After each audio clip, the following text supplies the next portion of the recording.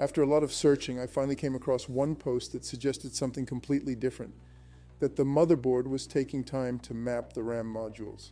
Apparently, it could take up to 5 minutes per module before booting would proceed. So I decided to wait.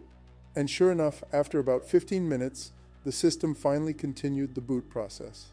This really should be mentioned in the motherboard manual because no one would normally expect a PC to just continue booting after sitting idle for 15 minutes. Just as I thought everything was finally working, the system threw another code, this time error code 99. Checking the manual, the description for this one was Super I.O. initialization, which again didn't provide much useful information. I reached out to Gigabyte support once more, and once again they didn't have a solution rather than returning the motherboard.